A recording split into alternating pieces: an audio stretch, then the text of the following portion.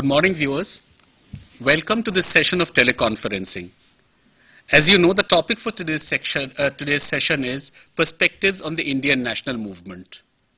And this session forms a part of your course, Foundation Course on Humanities and Social Sciences, FHS.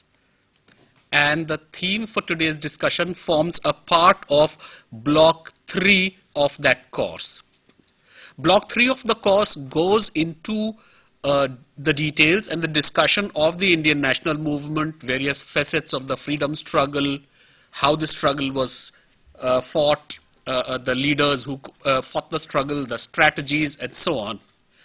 Today's discussion is not so much on the phenomenon of the national movement, but rather on the whole range of ways in which national movement has been looked at and studied by different historians and different sets of historians. So by perspective of the Indian national movement, by perspectives on the Indian national movement, we are going to be talking about the different ways, different perspectives with which the Indian national movement has been understood and studied. My name is Salil Mishra. Uh, I am from the Faculty of History and to discuss this with you, with me is on my left, Dr. Shashibhushan Upadhyay, a colleague in the Faculty of History, School of Social Sciences, who would be going into the various uh, historiographic trends and various schools uh, uh, which have uh, looked at uh, the Indian national movement and what are the differences and similarities among those uh, groups, among those schools. Before I hand over to Dr. Upadhyay, I would like to start with I would like to set the ball rolling. I would like to start the discussion with two or three very, very general uh, uh, uh basic comments, and then I would request him to go into the uh, go into the actual uh, topic uh, for the day, which is perspectives on the national movement. Our contention is that the Indian national movement is important not just in itself, but it's also important, it's also crucial because it provides us an understanding of modern India. So if you wish to understand modern India, nature of modern India, then our contention is that it's not possible to study modern India without going into a study of the Indian national movement. So it is a topic of enormous importance. It almost enjoys a certain centrality. It should exercise a centrality in discourses on modern India. It is also important in understanding the transformation of Indian society into some kind of a nation. So if you want to understand the process in which uh, uh, a very diverse, a very plural, in terms of religion, in terms of caste, in terms of language, uh, this diverse Indian society, if you want to understand the process in which this Indian society was gradually transforming into a modern national society, a modern na a nation, then I think again uh, a study of the national movement is absolutely central and absolutely crucial. A crucial phenomenon like that has been very heavily studied by uh, a number of historians and needless to say that not all historians really agree with one another. There might be certain common assumptions but uh, there are large areas of differences of perspectives among the historians and sometimes they do not even share common assumptions. So one way to open, uh, as it were, the discussion on perspectives of national movement is to really talk in terms of sets or groups of historians or schools of historians or historiographic trends, groups which may have certain basic assumptions in common and on, the ba a basic raw material, basic assumptions, a basic paradigm on the basis of which they have constructed their understanding of national movement. Given that, I think we can now go into a discussion of what are the different ways, different perspectives from which uh, the phenomenon of the Indian national movement has been studied. I would now uh, like to request my colleague, uh, Dr. Shashibhushan Upadhyay to give us a sense, a whole range of what are these kinds of ways and then I would also request him to take up some of these uh, perspectives, some of these schools and go into some uh, uh details, go into some discussion of that. Over to Shashi. Thank you, Salil. Uh, as Dr. Mishra said, there was a certain phenomenon called national movement, Indian national movement. And this was important because it was the national movement, particularly in the 20th century, which shaped our country, which shaped India as we know it today. So there was a certain centrality of this movement in the making of modern India. There is no denial of the fact that there was a movement, there were certain leaders, there were certain groups which followed, which believed in the national movement and which participated actively in the national movement. So up to this point, there is a general agreement among all the historians. Nevertheless, all the historians who dealt with or who wrote about the Indian national movement did not quite agree with each other. There were wide divergences in their writings and uh, in line with these divergences, we can divide the treatment of the national movement, perspectives on the national movement, and how the national movement was perceived into four broad categories of historians. One was the nationalist school, second was the Marxist school, third was the Cambridge school, and fourth was the subaltern school. These are the four broad schools. It is true that there were many other historians who worked outside any of these schools. Nevertheless, they also shared some assumptions or the other of uh, some of these schools. And even those who did not share uh, many assumptions of any of these schools, they can be said to fall within the liberal schools who more or less broadly followed the uh, perspectives or assumptions of one or two of these schools. So when we are going to discuss these four broad schools, we are going to take into account the fact that objectively speaking, there was a certain things, certain thing called national movement, Indian national movement, which shaped the future of India and the reality of India, the idea of India as we know it today. So let us start with the nationalist school. It was called nationalist school, uh, it is called nationalist school because it believed that the Indian national movement represented the entire nation. This entire nation fell within a certain boundary, geographical boundary, and it encompassed all the classes, all the groups of people, all the ethnicities falling within that particular geographical boundary. And that it called a nation, and therefore the, its perspective was inclusive perspective and it believed that the Indian national movement represented the whole of the nation, the whole of the country, all the classes, all the genders, and everyone living within these geographical boundaries. So much so that said, and it was proven by fact also, proven by many evidences, that the Indian national movement not only considered what it called the ethnic Indians within its uh, ambit, but it also included many of those who were not exactly born Indians. For example, many of the whites also were included within the uh, framework of the national movement and it was understood that anybody who loved India and anybody who wanted India to be free belonged to this stream called the Indian national movement.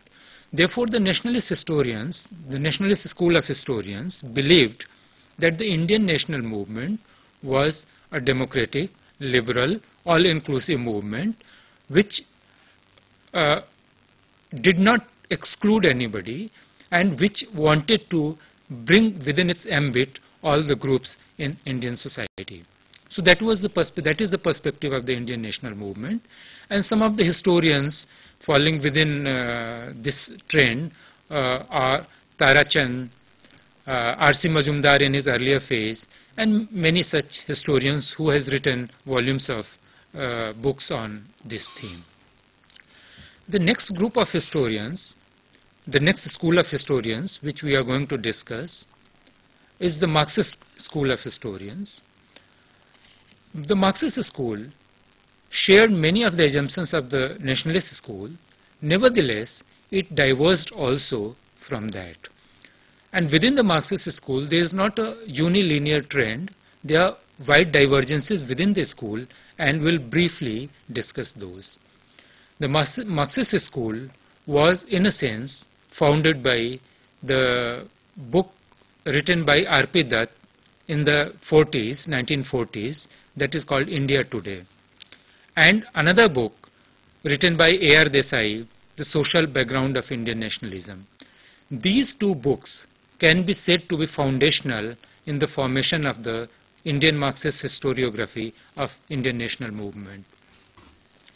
These two books brought out the basic outlines on which most of the Marxist historiography of Indian national movement is based. I'll briefly outline the basic uh, points of these. The first assumption of both these books are that the Indian national movement, particularly in its leadership, was bourgeois in nature that the leadership of the Indian national movement was bourgeois in nature. It was not the enlightened individuals only who participated and led the movement as was brought out by the nationalist school, but it was bourgeois in the sense that even though the Indian nationalist leaders did not themselves came from capitalist or bourgeois background, nevertheless they supported the interest of the Indian bourgeoisie, national bourgeoisie. However, A.R. Desai and R.P. Dutt in certain senses believed in some kind of instrumentalist approach towards the national movement, towards its leadership, in the sense that they said that the leadership, uh, although it may or may not have come from the bourgeoisie, nevertheless it was a kind of instrument in the hands of the Indian bourgeoisie and therefore it led the masses but not for the interests of the masses. It was for the interests of the bourgeoisie that it led the masses and molded them, them as such. As this, this was the basic assumption and there much elaboration that in the earlier phase it was the petty bourgeois, uh, big bourgeoisie in the earlier phase, then it came the petty bourgeoisie and in the third phase it was the nationalist, nationalist bourgeois which, who overtook the leadership, took over the leadership. However, when this school, the Marxist school developed, and it was represented by some other historians, the most important among them was uh, is uh, Bipin Chandra and Sumit Sarkar. Here the instrumentalist approach changes a little and they believed that it was not so much that these nationalist leaders were instruments in the hands of the bourgeoisie, rather their ideas were such that it helped the bourgeoisie although they themselves did not consciously favor any of the group in the society and they particularly Bipin Chandra says that the Indian national movement was an all-class movement. Nevertheless, so far as its direction was concerned, central direction was concerned, it was uh, favoring the bourgeois outlook of society, the bourgeois development of economy and uh, the nation. Similar was the case with uh, Sumit Sarkar. So we find that overall, with certain divergences, the Marxist school believed that despite being an all-class movement, the Indian national movement being an all-class movement, because among its participants, among its members, there were people from various classes of society, nevertheless, the leadership was, in certain senses, had bourgeois ideas. And ideas, it was, it represented a kind of bourgeois development of economy and society. Now we come to the Cambridge School. The Cambridge School, uh, we say Cambridge School, uh, it is not a school in the sense that all the uh, practitioners of this school either belong to the Cambridge University or they uh, taught there. Nevertheless, when it started, it represented a certain trend. Uh, the basic outline is like this, that the Cambridge School believed that there was no contradiction between the imperialism and the Indian masses. Now, going back a little, both the nationalist school and the Marxist school believed that in Indian, under colonialism, the basic contradiction was between imperialism and Indian masses. And other contradictions can be there, but this was the major contradictions. The imperialist school believed, the Cambridge school believed that the contradiction was not between imperialism and the Indian masses, but the contradiction was within the Indians themselves. And therefore, it was the Indians who fought among themselves. This fight developed in a certain direction because of imperialist concessions and in order to garner those concessions, in order to garner those benefits, the Indians competed within themselves and thereby developed a kind of movement which was termed as the national movement. So the model is like this. It was the British imperialists, British government in India, which from time to time threw out certain concessions to the Indians. The Indians, various groups of Indians who were divided among themselves on the lines of caste, on the lines of community, on the lines of faction, they competed for those gains to get those, uh, to benefit from those gains and for this they fought among themselves and thereby developed various movements. Some of them were communal movements, some of them were nationalist movements and that is that. That it was the nationalist movement by this definition was a movement developed as a result of competition among the Indians themselves. The uh, imperialist con contradiction with the contradiction of Indian people with imperialism had nothing to do with that. So that was the basic framework. Within Cambridge School, we see two phases, but we'll discuss it later during our discussion. Now we come to the subaltern school. The subaltern school developed during 1980s. Uh, this school, right from its beginning, believed that the, there is not just one Indian national movement. There are various national movements. There are various kinds of nationalisms in India. These nationalisms can be along ethnic lines, along class lines, along group lines. And although they all contributed in some form or the other to, towards the development of the nation, nevertheless, the Congress nationalism or the dominant nationalism was an elite nationalism. It was an elite phenomenon. And the mass nationalism, which had various uh, hues, it has a lot of varieties, that mass nationalism belonged in different to different groups, sometimes to certain tribes, sometimes to certain classes, sometimes to women. It has been variously distributed. So on the one hand, there was this elite nationalism represented by the Indian National Congress, and on the other hand, there are varieties of nationalism which contributed towards the making of the nation and which have never been taken into account by the historians, elite historians. So they said that all the histories written until now, until the subaltern uh, school wrote its own history, so all the earlier history was an elite, elitist history because it concerned itself either the bourgeois nationalist elitism or imperialist colonial elitism. So all the history, including the Marxist history, Marxist historiography, was in a certain sense elitist historiography because it did not take into account the mass nationalism and its autonomous character. That is what they emphasize, that the mass nationalism was autonomous, was independent from the dominant nationalism represented by the Indian National Congress. So these are the four schools which uh, wrote about Indian nationalism and gave its various perspectives of Indian nationalism. If there are any questions on these, you may please send them or else we can also, if Salil has something to say about this, he may. Yeah, thank you, uh, Shashi. It seems, uh, as I was listening to this discussion on the various perspectives or on different schools, particularly the nationalist school, nationalist historiography, nationalist history writing, uh, Cambridge School and the Marxian history writing. It occurred to me that it is very interesting that one can link some of the assumptions of these historians to concrete political practices of the time. In a way, one can see that these perspectives, these different perspectives, they were developed by ideologues, practitioners of politics, and also by professional historians. even though their areas were separate, but you can see certain common underlying assumptions among the, uh, the ideologues, the practitioners of politics and the professional historians. What I mean to say is that you can, in the nationalist historiography, you can see that the nationalist ideologues, the practitioners of nationalist politics during the course of the national movement, and professional nationalist historians, they started out with certain common assumptions. And this point can also be generalized about Marxian ideologues, practitioners of communist politics, and Marxian historians.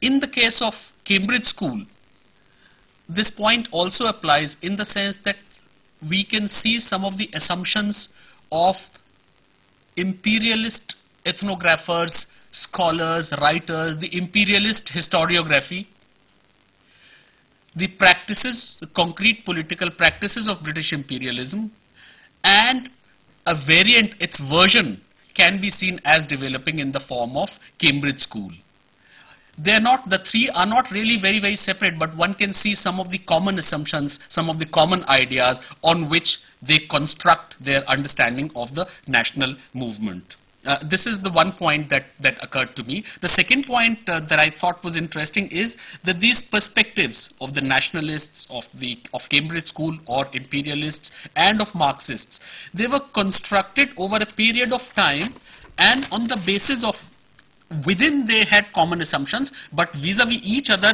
they had very, very different assumptions and I could say very different raw material with which they worked. For instance, I mean, to, to, to spell the point, for nationalists, it was the nation and the unquestionable existence of an Indian nation, which in, a, which in a way forms the bedrock of the positions of nationalist ideologues, practitioners of nationalist politics, and also professional historians. Tarachand particularly of about whom uh, Shashi talked about. For Marxists, it was the class and the division of the world, essentially the division of world in terms of various classes, and an understanding of world history in terms of specific social formations. So not British rule, but colonialism, which is linked to capitalism which forms a very important part of of of the of the of the philosophical assumptions of Marxian ideologues, practitioners of communist politics, and also Marxian historiography, professional Marxian historians. Uh, uh, uh, professional Marxian historiography that developed in India particularly from the 1940s onwards, R.P. Dutt and A.R. Desai. For imperialists, it was not so much the category of nation and class, the modern categories of nation and class. For them, they either did not exist in India or were not operative, were not important.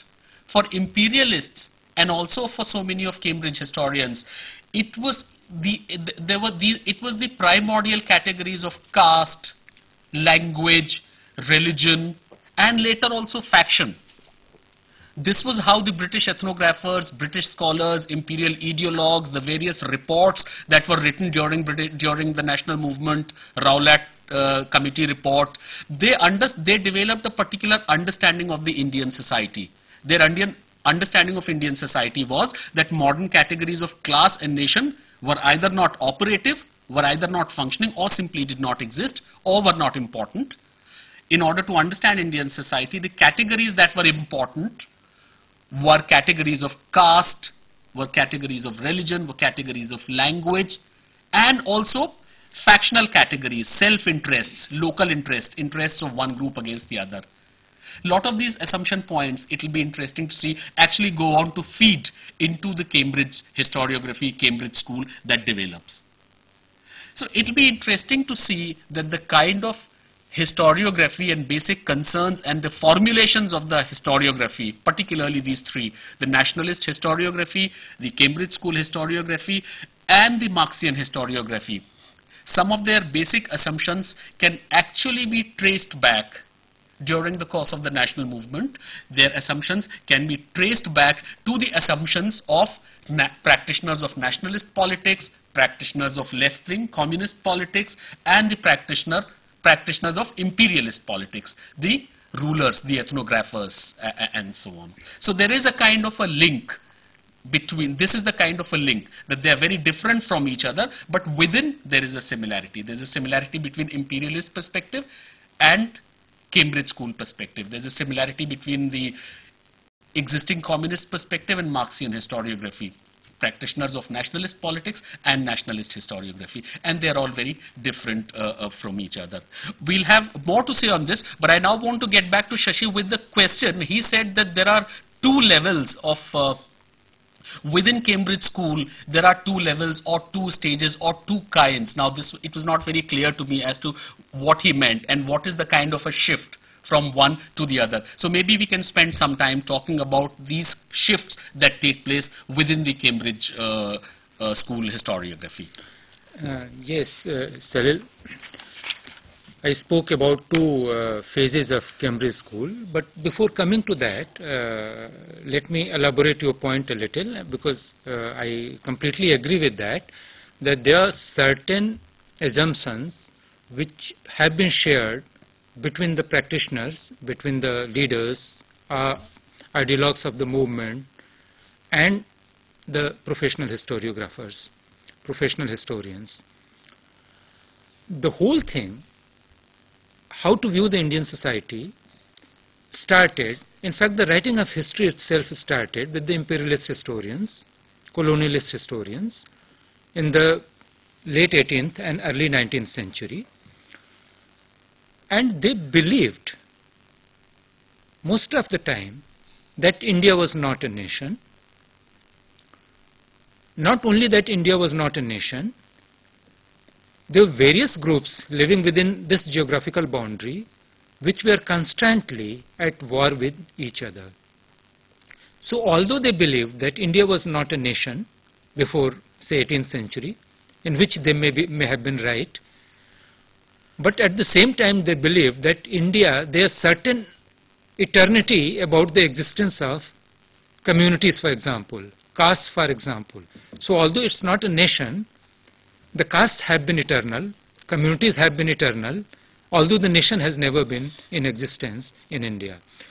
So they wanted to see various divisive tendencies within the Indian society so that it was also related, their assumptions, their ideal ideas were related to the mechanics of power, how to control Indians. And Indians could be controlled only, or mainly, primarily, if they could be shown to be divided among themselves, to be constantly at war among themselves, so that the hand of a superordinate power was needed. So this was their basic assumption right from the late 18th century. In the early 19th century, the first major work of history which put, put a stamp on this kind of interpretation of Indian society was by James Mill, A History of India, a huge voluminous work which is so contemptuous of Indian civilization that the later colonialist historians had to criticize it and move, it, move away from that. Nevertheless, the assumption of many colonialist historians have been that India was not a nation and it was a society divided into castes and communities and languages and which never saw any kind of unity in its history. In fact, it never had any history. So that was the basic assumption. Now the nationalist historians and nationalist leaders earlier also, they understood the problem, they thought, and they realized that India was not a nation. Nevertheless, they also thought that India was not eternally divided between communities, castes and various other sectarians, uh, sectarian loyalties. And India was a kind of nation in the making. They said that India was a nation in the making. But the later pro professional historians also took it from them and they, to counter the imperialist history, they asserted that India has been a kind of some has been not a nation exactly, but it had certain kind of unity right since, uh, say, the Vedic ages, or probably when the Harappan civilization was discovered right since Harappa. So they saw they asserted a kind of unity which may not have been a national unity, nevertheless it was a kind of cultural unity, a geographical unity. The Marxists also saw that the existence of classes and it was it could also be traced to the communist practitioners in the uh, early 19th century and nevertheless even among marxists there was certain development of trend the whole development of ideas so we find that the later historians become more sophisticated they don't find any kind of instrumentalist relationship between the indian national leaders and the bourgeoisie also, they don't see that the Indian national movement or the Indian society was so sharply divided between classes that they could not be mobilized together with the same idea of nation.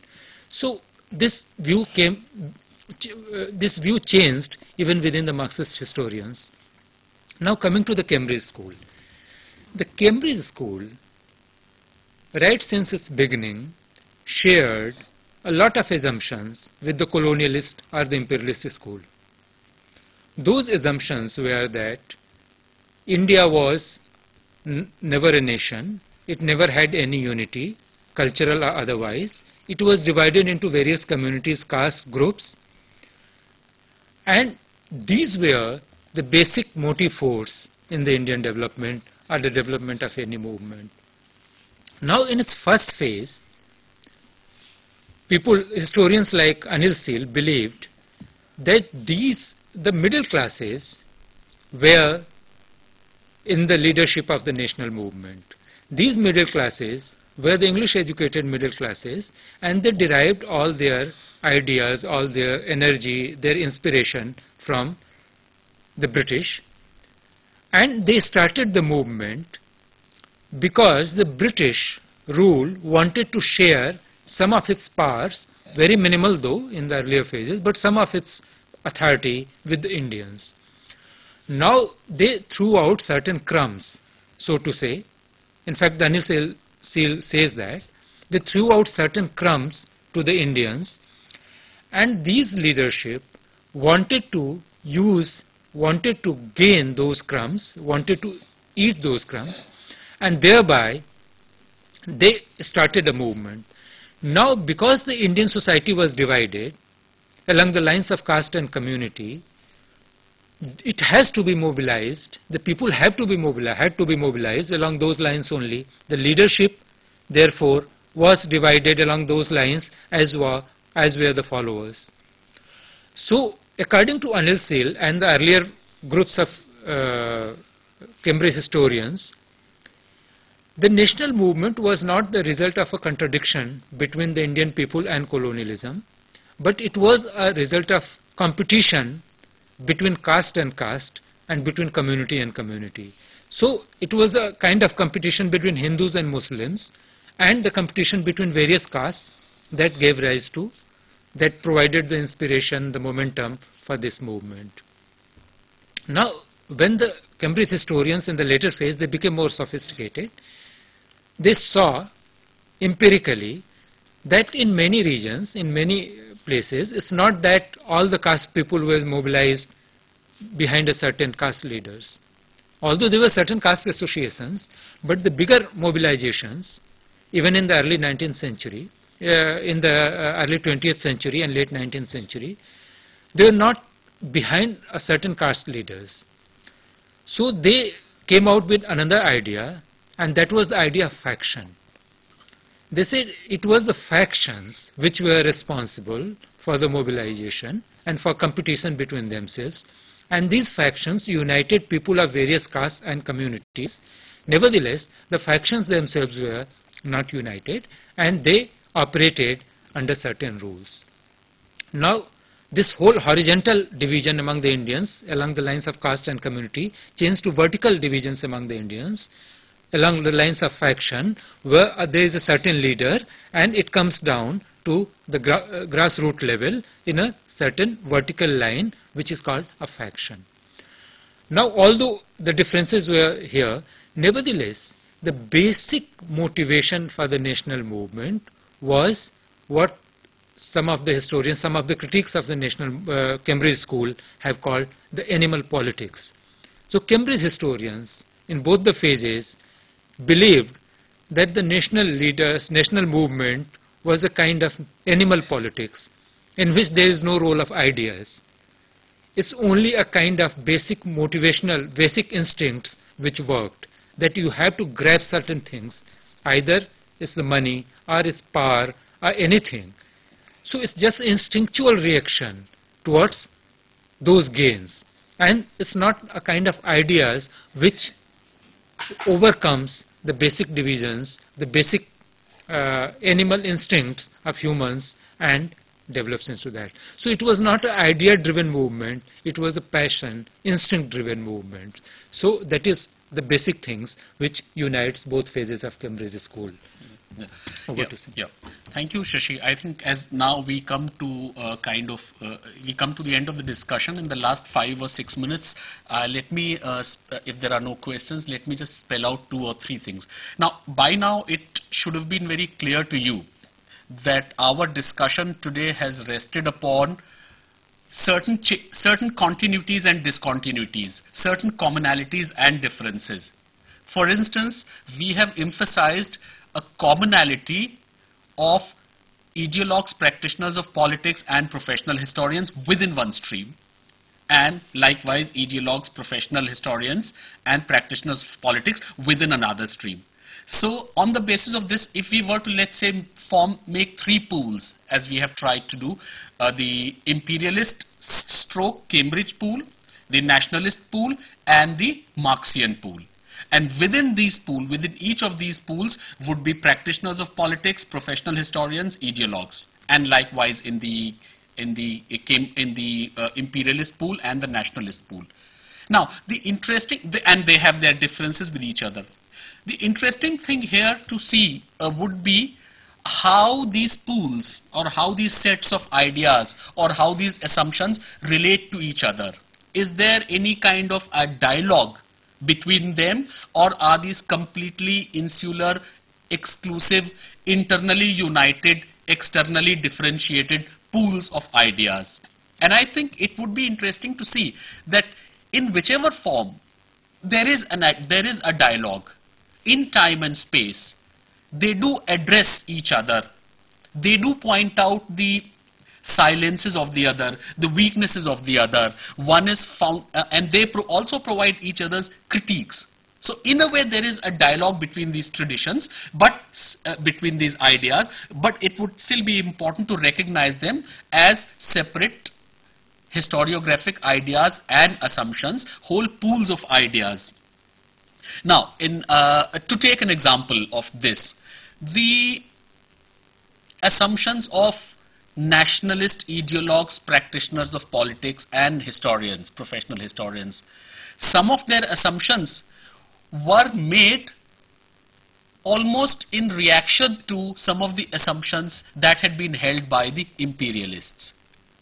So a lot of the direction which nationalist historiography took was also in reaction to the directions of the ideas of the imperialist schools. So if the imperialists emphasized early imperialist 19th century of which Shashi talked about, if they emphasized dark ages in India, in, in Indian history, or if they looked upon the Indian past as dark, as some of the uh, liberal uh, 19th century historians, James Mill for instance did, then Indian nationalists and ideologues, they reacted to, by, reacted to it by constructing golden ages. And they went back to India's past and tried to show, tried to demonstrate the golden ages of the India's past. If the imperialists talked about the backward, if the imperialists talked about the unchanging, static uh, nature of Indian society, then Indian historians, nationalist historians reacted to that by providing an alternative. If the uh, imperialist scholars and historians, they emphasized the backwardness, backward nature of the Indian society. The nationalists accepted the argument but explained the backwardness not in terms of intrinsic Indian features but in terms of the nature of the British rule, the drain of wealth. So they accepted backwardness but they blamed the British rule for some of those backwardnesses. And a lot of these ideas which were developed by the early nationalists, practitioners of politics and ideologues, they were carried forward, they were carried over they got carried over into the nationalist historiography and formed a part of the nationalist historiography. Likewise, the Cambridge School, it did try and emphasized some of the silences of the nationalist history writing, nationalist historiography. So in this manner, it will also be interesting. Today there is no time, but it will be interesting to see how these different pools of ideas, they do get into some kind of a dialogue with each other. How they build themselves on the, uh, build themselves as a reaction to the ideas of the other schools. So if, if, if if the imperialists emphasized disunity, nationalists emphasized unity, and they emphasized unity so much that they actually ignored and overlooked the internal contradictions of the Indian society, the divisions of the, the, within the Indian society along lines of class and caste and so on. Marxist historiography then emphasized the internal divisions, internal contradictions within the Indian society, but being Marxists, they focused primarily on the divisions of class. So the Marxists looked upon the Indian society in terms of the various classes, the peasants and the zamindars, the workers and the bourgeoisie and the middle classes.